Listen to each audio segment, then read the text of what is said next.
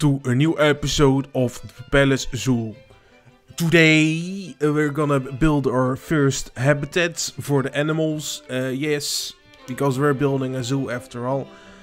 Uh, yeah, uh, here I'm starting on the first habitat, and guess what? My first animal is uh, it's flamingos, and I actually thought they were pink, but these ones are uh, white mostly. Um, how interesting! They're called greater flamingos, so I guess they are better than the pink ones. But anyway, okay doing some terraforming here. Yay. So they need a lot of water because flamingos are birds and birds live in this uh, in the air, but these don't. They these live near water on the coastal areas of the world, mostly in uh, Africa, Europe, and Southeast Asia and the Middle East. That's a lot of the world. Okay, I'm just well they don't like coverage, they don't like trees, they like like aquatic plants and little bushes and rocks, but mostly water and sand and dirt and rocks. Uh, yeah, but yeah. So I chose flamingos because they are uh, small and they don't need a lot of space, and you can have a lot of them together without them having trouble with the little space issue. And they are commonly found at the zoo entrance area, so that's always good. Here I'm covering up the concrete barrier because that's really ugly and uh, I'm not trying to make something ugly. Uh, I really try. Uh, sometimes, uh, yeah, it doesn't work, but I yeah. Okay moving the habitat here because I made a mistake with placing it down. But uh, anyway, I'm covering the like I'm basically doing the same thing as in the fountains earlier in the other episode. So there's that. I'm also breaching the gap between the path and the habitat wall with some stone curbs. That will make it a bit more uniform and especially with the plaza we're gonna build later on. Okay, here I built a main uh, keeper's hut, I guess. It's a bit simpler in style than the entrance building and especially the palace. It's just a simple building, but I still wanted to have some sort of class. So, no concrete, it's limestone, but the roof is a bit simple. So, uh, I made a different level here of height to have a bit, uh, well, some diversity in the building as I usually try to do, but yeah, okay. Now flamingos need hard shelter because they don't like getting wet. Uh, even though they stay uh, in the rain when it rains. Uh, they need a roof above their heads, apparently. Yeah. So doing some trim work because really it's it's really ugly if you don't do anything like this. Like uh, you, you, can see the roof sitting on the wall and then that's that. It's hard to detail a building but uh, well in the meantime try to keep it simple. That's why I mainly use white for this building because white uh, is simple and uh, easy to work with because everything works with it. Then I put a brown chimney in it and I was thinking why did I do that and I don't know anymore and that's why I deleted it later yeah, the chimney didn't mix. I thought, well, maybe if I use the chimney more often, often, then maybe it will mix with all the chimneys and it has chimney friends. But right now it doesn't, so I just kept it away. Um, it's placing some doors again, because, well, they need to get in, right? Yeah, okay. Um, pillars, yeah. So, what is your favorite animal? I like uh, bears, but we won't be seeing them today. Uh, no. I also tried uh, the weather effects out uh, while building. It wasn't a success. I couldn't see what I was building, so I'm not doing that anymore. Um, yeah, I like the rain though and the nighttime and uh, oh, I also forgot this game has a daytime, day, day and night cycle. So I started using that and also wasn't a success for building. I like building on midday. Yeah, I'm building some educational speakers because people need to know these are greater flamingos and not flamingos. And uh, that's very important, I heard. Uh, need more food stuff. I actually didn't place a food barrel down because one of those watery feeding places is enough for food. I needed to extend the building here because they needed more shelter and some vents on the top. Okay. Next animal. Oh my god. What's it gonna be?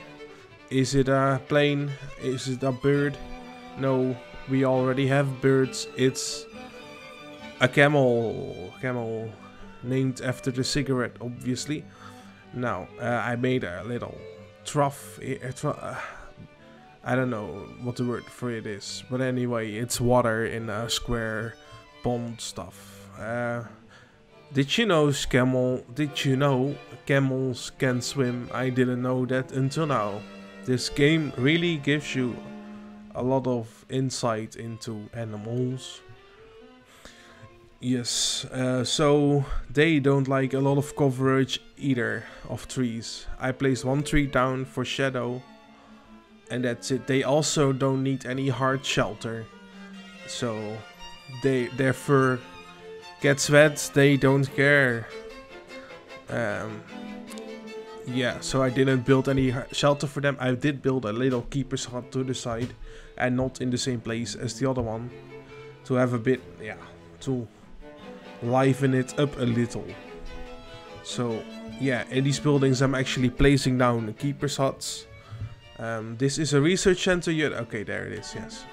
Okay, once more covering up the fences. Um, because white white mixes well with everything. So yeah, okay, let me talk a bit about the zoo.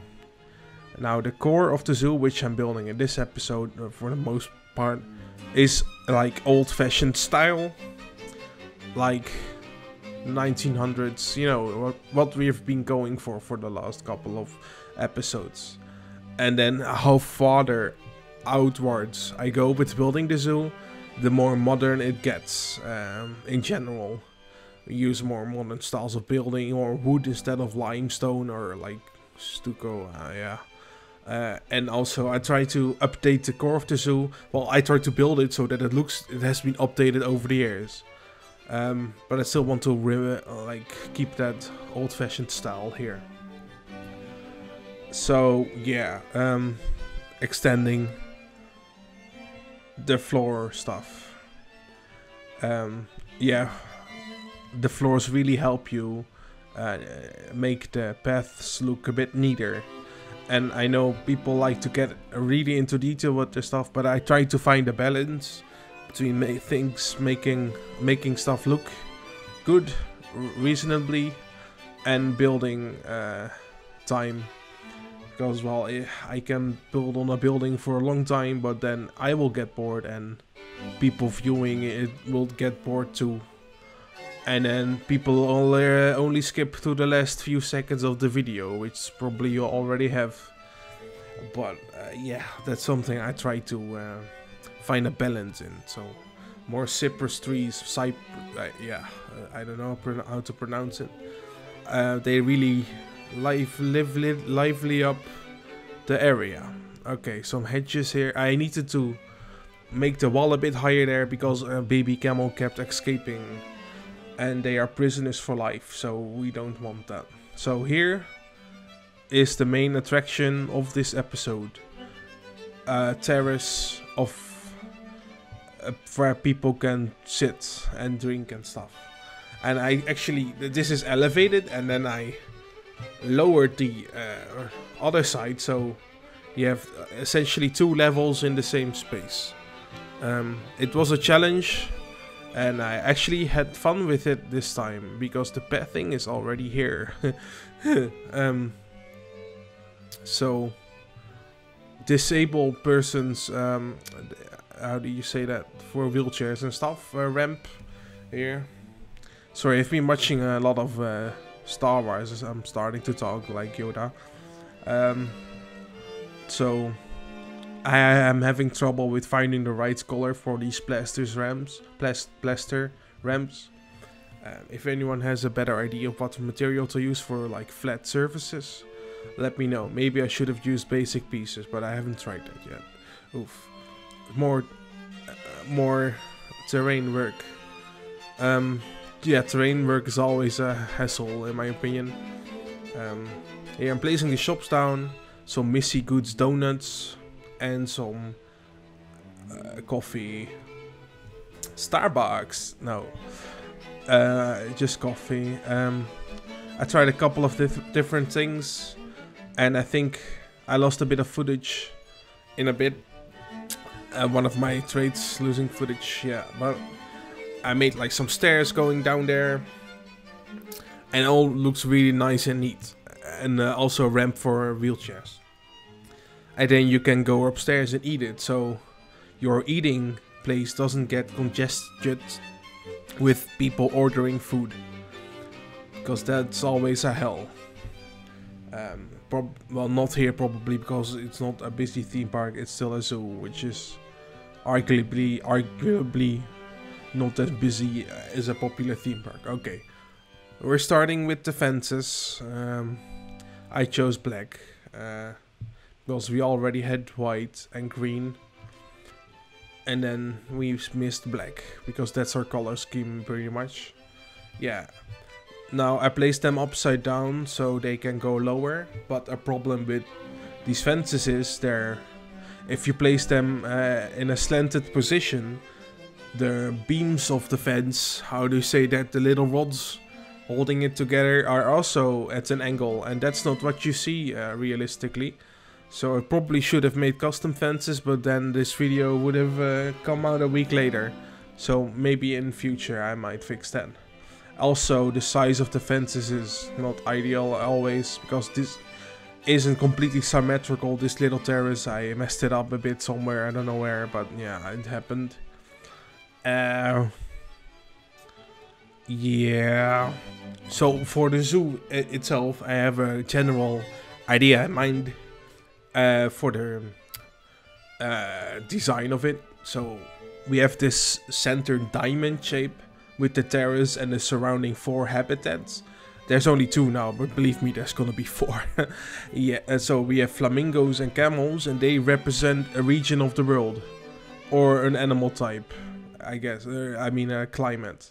I haven't decided yet, but uh, for example, the camels go into the desert region or the climate, and there you will find, in that area of the zoo, you will find the desert glass house I'm gonna build and like animals who need hot weather, which might be a challenge in this European zoo.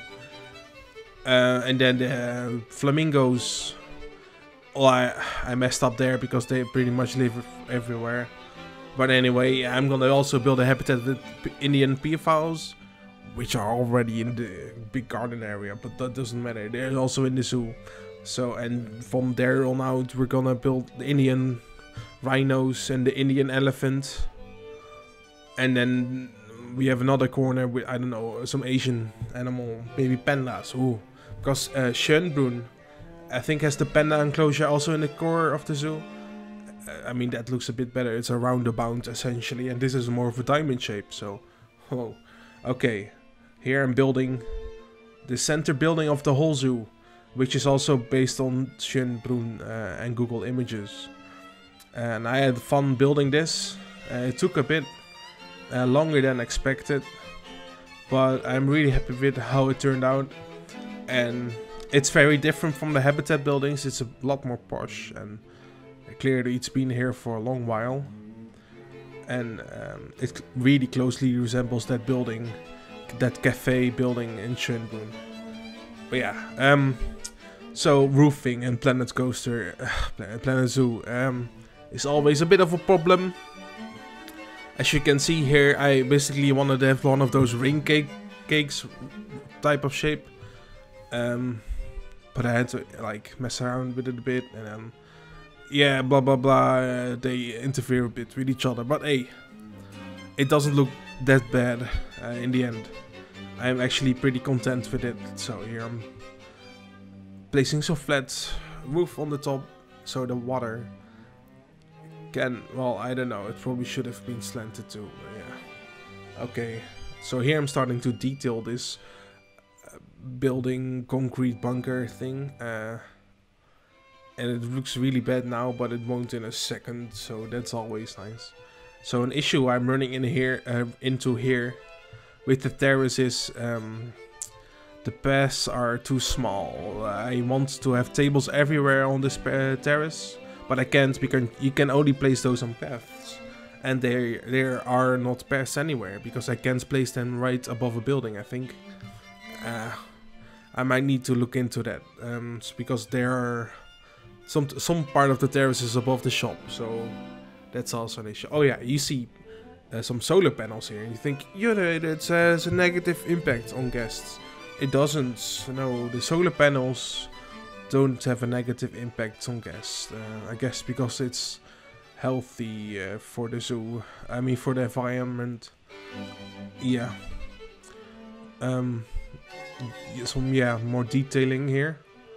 Um, very fun. Um, so in the next episode, I might work on the glass desert house or the other habitats in the core of the zoo and the, the Indian stuff a bit. I'm not sure. It, it isn't actually Indian themed, but uh, Indian animals. Because this is not a theme park zoo. This is like a old classic zoo. Um, for the inner part, that is. Okay. Yeah. Um, it's really coming together, um, this building now. I uh, placed some windows on top of each other to make a bigger window. wow. And um, then I did that again with even more windows for the other side. And I think it's like nearly finished here.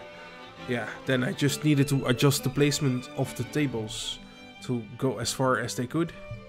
And do some lighting. And I think that's it for today now. Uh, see you guys um, hopefully next episode. And I hope you enjoyed this. Let me know what you think. I see you later. Bye.